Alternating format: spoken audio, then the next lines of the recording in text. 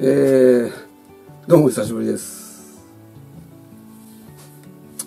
いやー長いだねの更新してなかったんでなんかちょっと更新しとかなあかんかなと思って、えー、まあゴールデンウィークも始まったしちょっとまあまったりと動画回してあのどうせあんまり内容のない話が多いと思うんでまあ、パシパシパシとカットして。前回あれいつやったっけな？前回動画上げたのは2月の13日か、えー、退院してあれですね。まだこう尿管ステントが入った状態、うん、だったと思いますね。それ以降のことをちょっとお話ししときましょうか。それ以降ね、あれいつだっけ？えー、っと、ちょっと待ってくださいね。ほんまに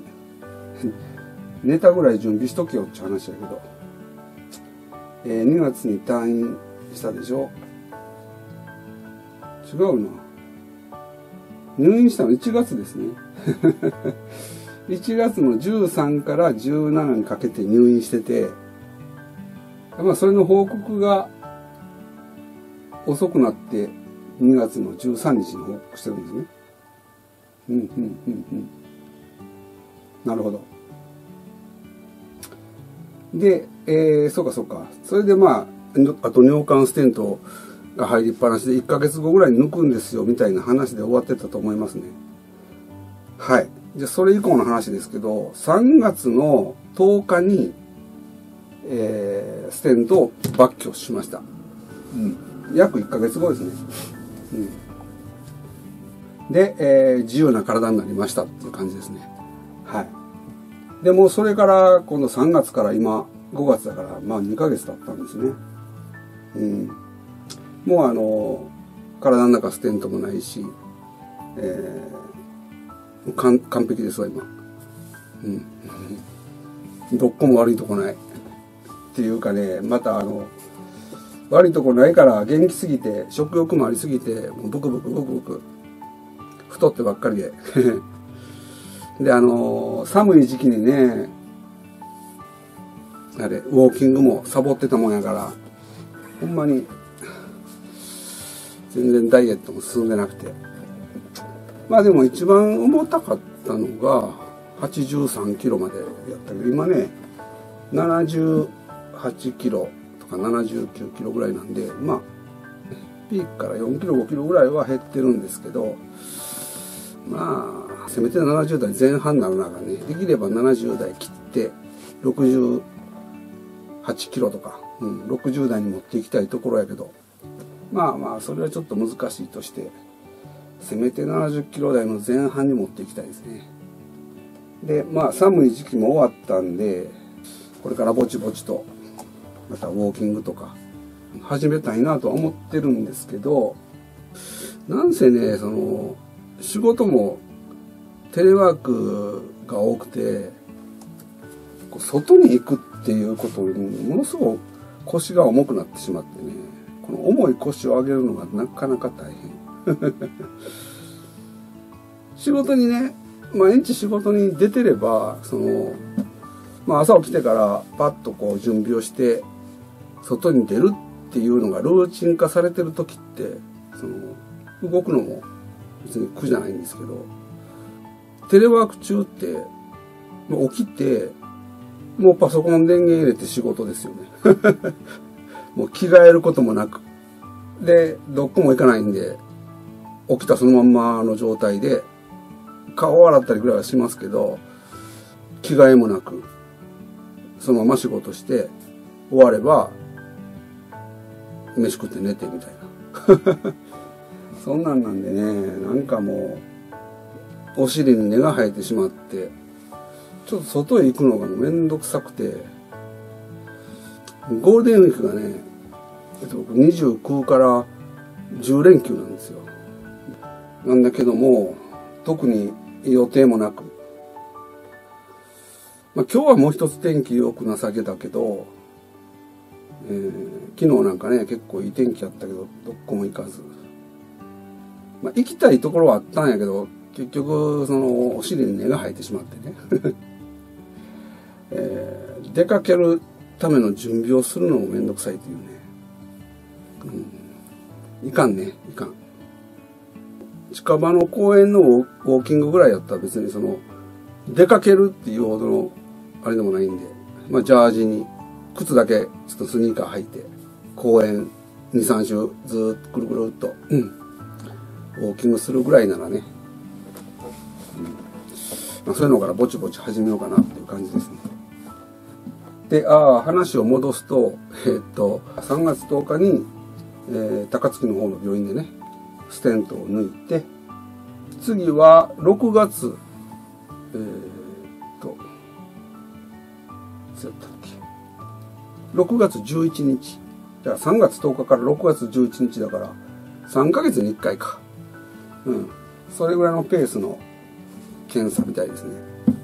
で、えー、またあの高槻はもう高槻はね要は設備があの尿管鏡とかそういうのが高槻にしかないので高槻行ってるんやけどその普通の CT 取ったりとかね、えー、尿細胞診とかそういうのはあの近くの近くっていうかまあちょっと近く。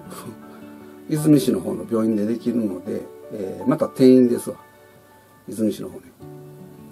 でまあ何回か話はしてますけど先生が一緒なんですよ。転院って言っても。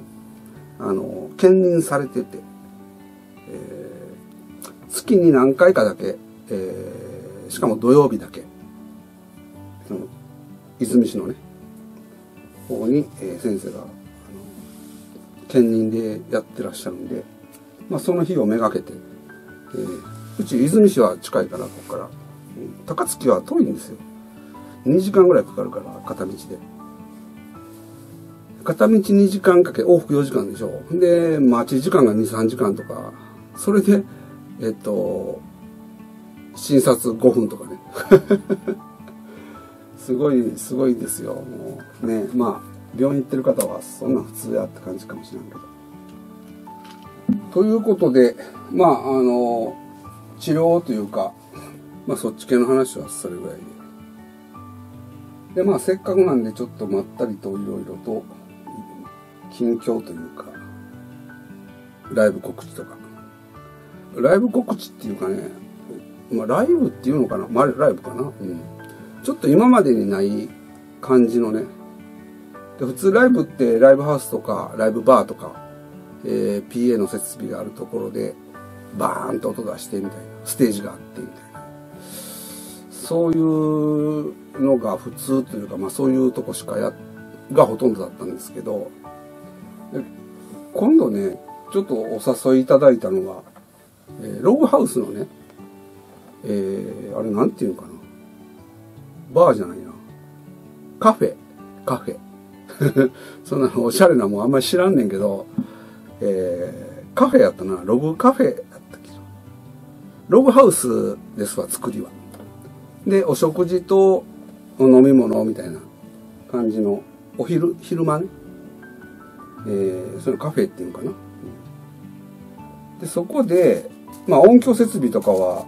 何もないんですけどね。ないんですけどねっていうか行ったことないんで、ないらしいです。話に聞くと。なので、あの、まあ持ち込みで、えー、ギターアンプとか、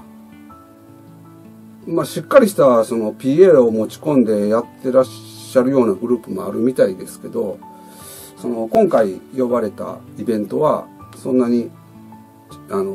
なんていうかな大掛かりな設備は用意しないっていうことなんで、まあ、ちっちゃなミニアンプみたいなやつとか、まあ、各自 あの機材持ち込みでみたいな感じで、うん、であの、まあ、当然そういうところなんでバンドで演奏するわけじゃなくてあのアコースティックのねシドヤンってやってる剣帽子っていう、えー、2人のアコースティックデュオでねえー、出させてもらうということになりまして、まあまあ写真とかちょっと出しとこうかな。編集でね。どんなとこか。なかなかこう雰囲気のいい。えっ、ー、とね、奈良県の、どこだっけ？宇田市。だったかな？ちょっと勉強不足やねんけど、うん、奈良県のねえー、っとすごい自然の豊かなところにある感じで。でそこでねえー、っと5月のいつやった ?29 やったかな。ほんまに。ネタ用意してないんで適当に喋ってるので、うん、5月29日の日曜日の、えー、14時スタートやったかな。であのー、まあイベントがありまして。で5組出るんですけどその5組中の4番目に、えー、剣帽子で出ます。あのアコギ2本でね。で今回は、えー、まあ歌物とそれからインストと半々ぐらいのせ取りで、うん、30分ぐらいのステージを予定しています。まあ年末やったかな風縛りのね、えー、イベントを出させてもらってあの時は3曲だったんですけど、まあ、風縛りっていうことで、まあ、歌物3曲ね風の曲。やったんですけど今回は特に風っていう縛りもないので、えー、インストとかも取り混ぜながら、えー、自然とね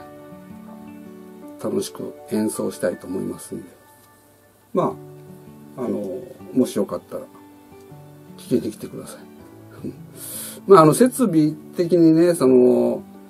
大掛かりな PA とかないからあのちっちゃなアンプでね 最初生生音でっていうでもええかなっていうのあったんですけどちょっとさすがに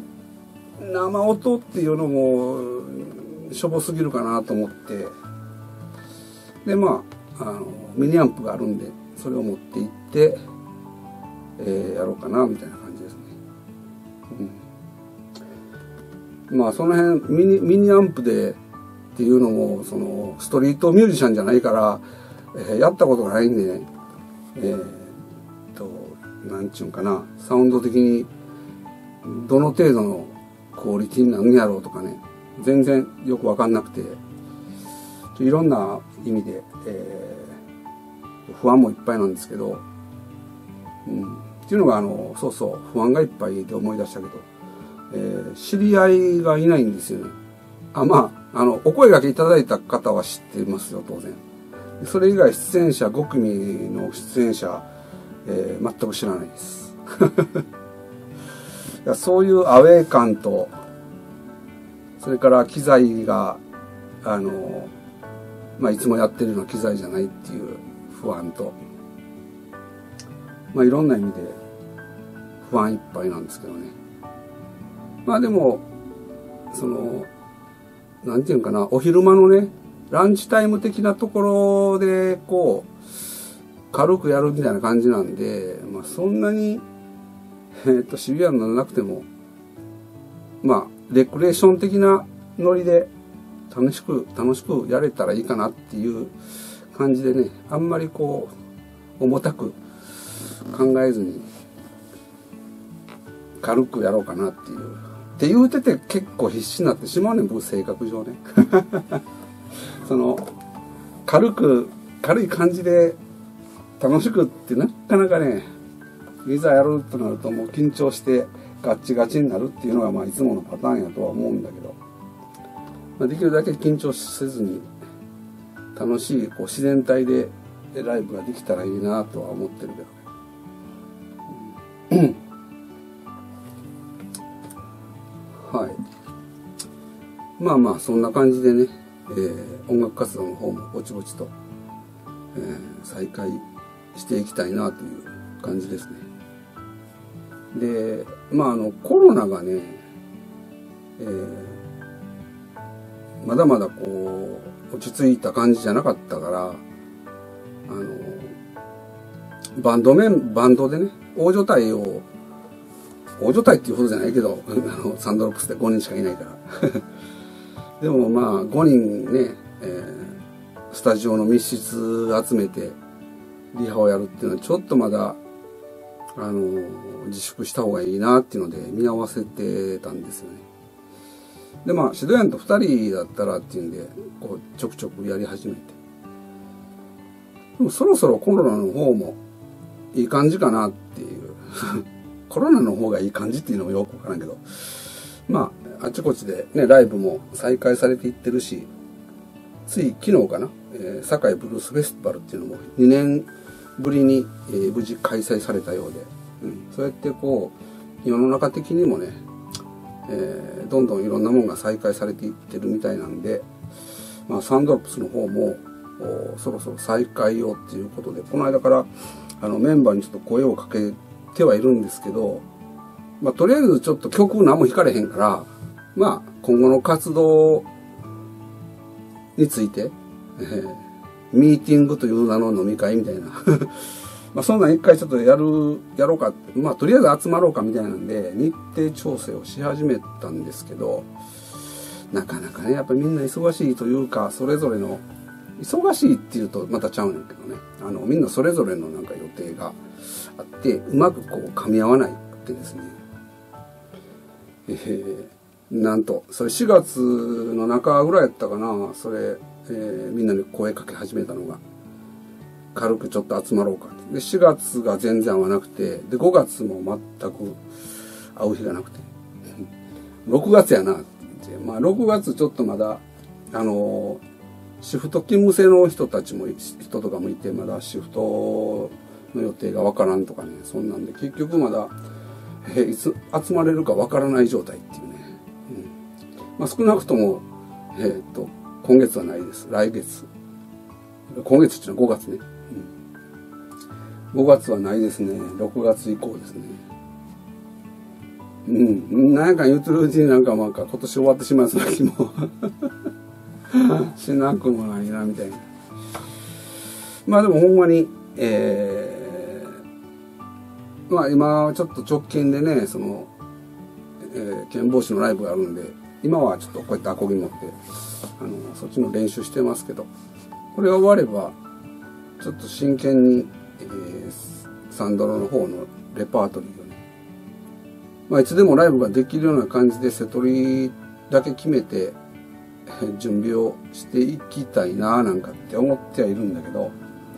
まあ、オファーがあればねいつでも出れるように。いつでも出れるようにはちょっと言い過ぎか。あの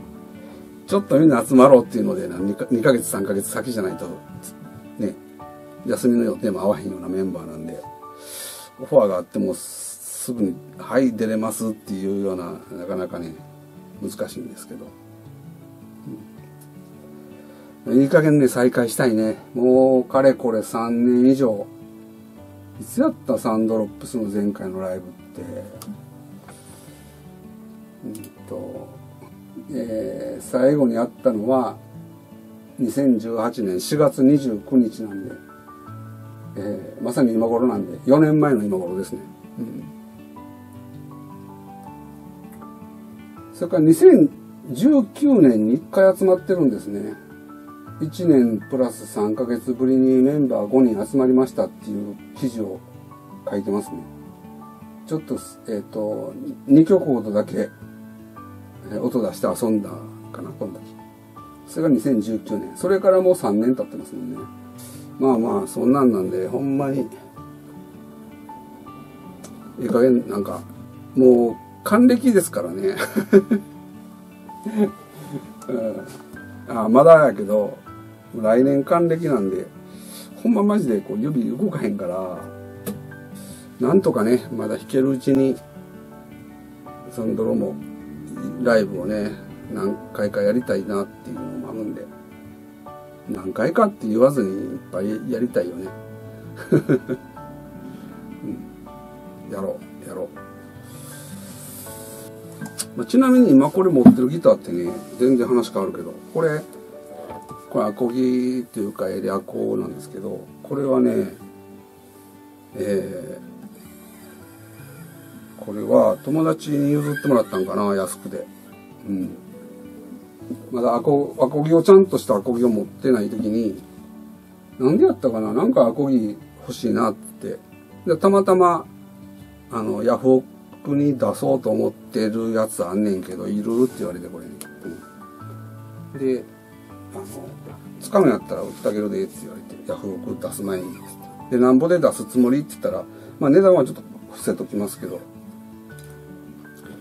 まあ、いくらいくらでヤフオク出そうと思ってるけど、じゃあもうその値段で俺買うわっつって、で、売ってもらったんですよ。もうでもね、これ動画じゃわからんかもわからんけど、もうすっごいこう、ちょっと塗装が、えー、白濁してて、灰色ですよ、これ。黒に見えるかもしれんけど。ヤマハの APX5A って、弾きやすいギターではあるんやけど、音はもう、えー、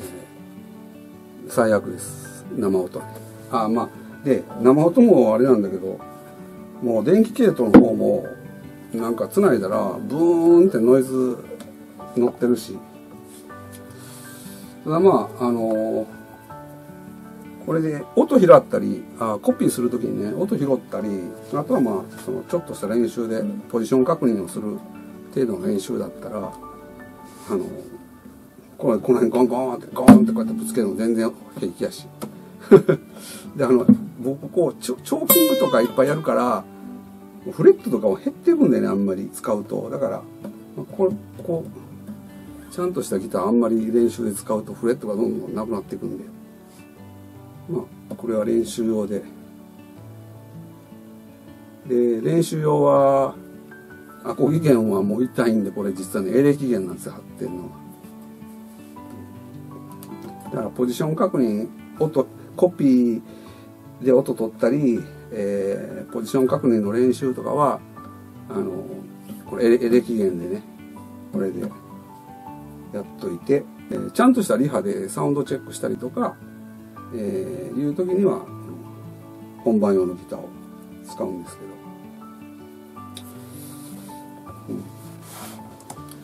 まあそんなこんなでダラダラ喋ってますけど。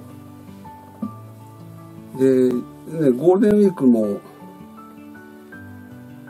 今日が、えー、日曜日でしょ？まだ丸々1週間あるんですね。でちょっと帰省もあのー、実家の方にねふるさとの方丹波篠山なんですけど。もう帰省もしたいなとか思ってるけどまあさっき言った通りですお尻に根が生えててなかなか動こうっていう気にならないんで。まあちょっと一回連絡取ってみて、えー、せっかくなんでちょっとね、えー、両親の顔を見に帰りたいなというふうには思ってるんですけど、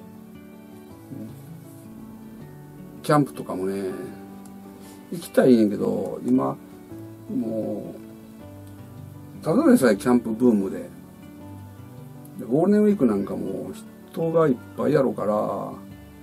んまり人が多いとこね行きたくないなっていう。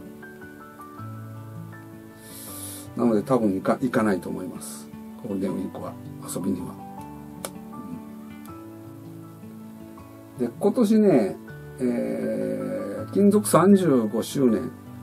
リフレッシュ休暇をもらえる年なんですよ。連続で取りなさいっていうのが前提なんですけどね。5日間これ。5日間連続するってことは、えー、前後の土日が入るんで、えーと、9日間ですね。最低でも9日間。連続で取りなさいっていうのが、リフレッシュ休暇の、えー、条件です。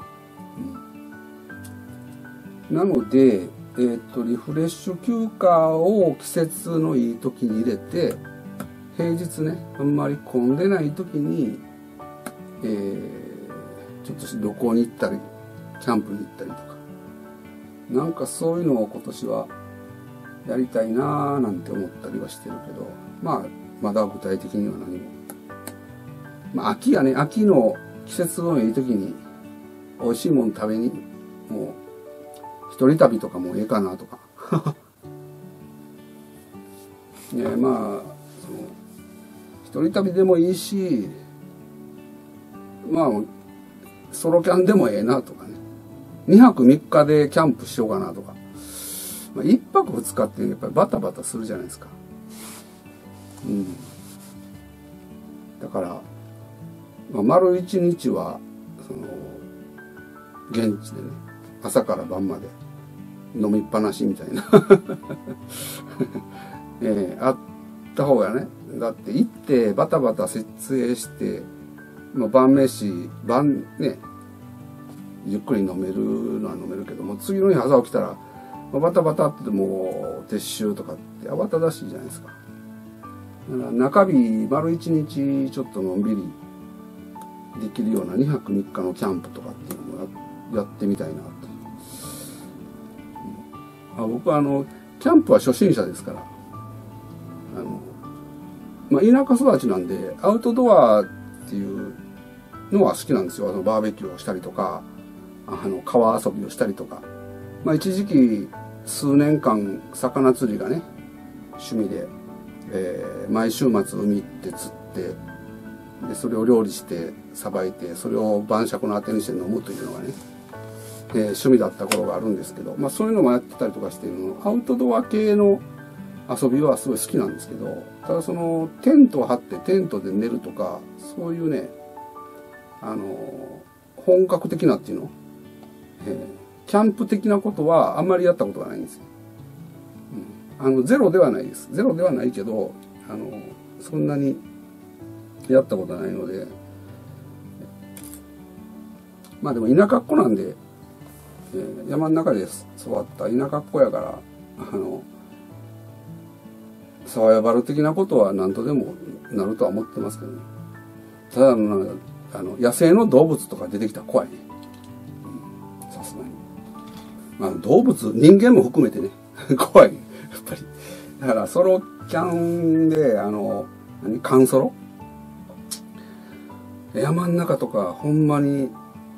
野営でカンソロできる人ってなんかすごいなと思うね。っていうかやめといた方がええと思うけど危ないから。何かあったって大声出したって誰も助けてくれへんやみたいな。だから僕はちょっと奥もうそこはあかんたりなんで、えー、もし、えーと、ソロキャンするにしてももうカンソロになるんだったら途中で俺諦めて帰りますね。怖い。かといって人が多すぎるのも嫌なんでわがままでしょ、うん、あ多すぎるのは嫌やけど一人ぼっちは嫌やなっていう。そんなん言うてるから言うてたらどこも行かれへんみたいな。まあだからあれやねその経験豊富じゃなくてもいいけど経験何何回か経験をされたような方とえっ、とグループでねグループでソロキャンみたいなのはやってみたいですね。うん。でも基本的にはソロキャンだからあんまり干渉はし合わないっていうね、えー、そういう前提で、まあ、困った時は助け合いしましょうみたいな。そういうのやってみたいな。で、ね、僕の周りにねそういうあのおんのかな？あんまりそういう話をしたことないだけでいるのかもしらんけどあのソロキャンをやろうとしてる人とかやってる人とかあんまりね、えーまあ、いないことはないけど、あの、まあ、SNS とかでね、記事は上がってるけど、その、むちゃくちゃ仲いい友達とかじゃないから、うん、急にその、一緒に行こうって言って、連れてってとかっていういうような、言えるような仲ではないのでね、うん、なかなかね、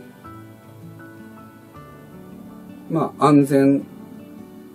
安全第一で、えー、徐々に、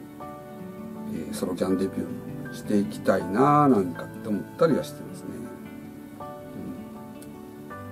んまあ、一応もうテントとかね、あの、テーブルとか、なんやかんやと、あのやろうと思ったらやれるような、あの、ギアは一通りは多分あると思うんですよ。もうだいぶ前に揃えたから、何々買ったかあんまり覚えてないぐらい前に、えっと、いろいろ揃えたんで、一応シュラフとかもね、うん、持ってはいるんやけど、使ってない。うん、実践で使ってない。家で使った。家で使った。まあまあ、アルストが一番よく使ってるね。こんなん別にあの、キャンプギアって言うのかわからんけど、ここにあの常にあるストがあってこれであのコーヒーを。前はね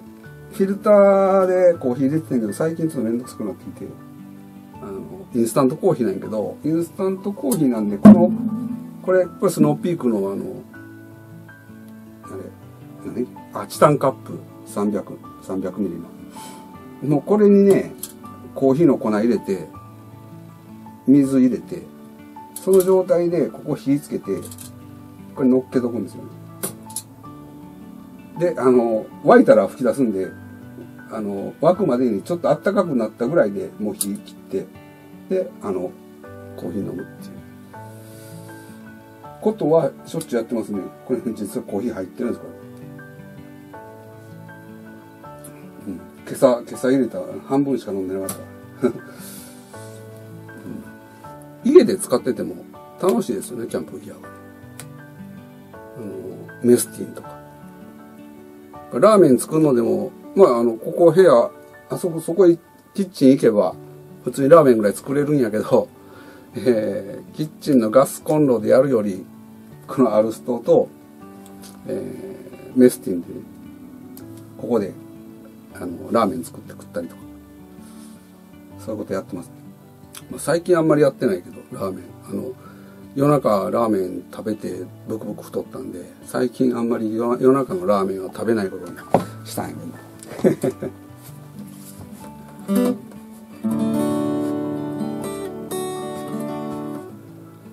うんということでなんかめっちゃダラダラ何分喋ったかな。1時間も喋ってはないか。1時間も喋ってはないとは思うけど結構長い間ダラダラと喋りましたね。で、えー、あんまり内容のない話なんでピコピコピコってこうカットしていって、えー、どんなネタが残るかわかんないですけどまあ、えー、明日からはまた天気は良くなるのかな？うん。まああんまりずっと家にいるとあんまりもったいないのでまあ帰省とかそういうのも含めて有意義なゴールデンウィークを過ごしたいと思います。はい。ということで、えー、次は何になるかわからんけど何らかの動画でお会いしましょう。じゃあまた。バイバイ。